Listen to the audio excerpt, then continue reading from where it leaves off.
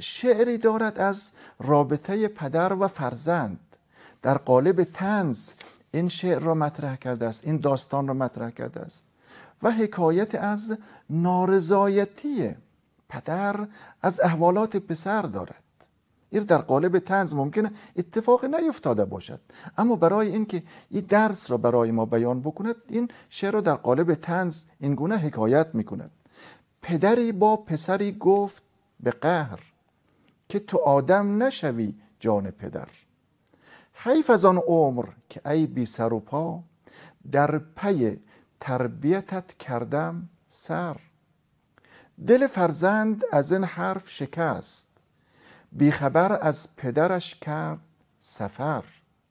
رنج بسیار کشید و پس از آن زندگی گشت به کامش چو شکر. عاقبت شوکت والایی یافت.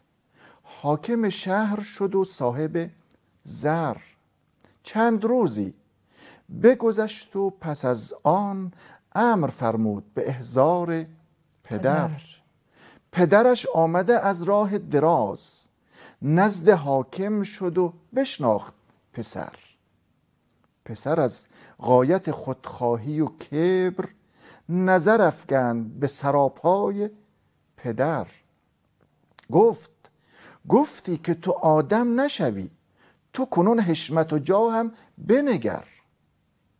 پیر خندید و سرش داد تکان گفت این نکته برون شد از در. من نگفتم که تو حاکم نشوی گفتم آدم نشوی جان پدر.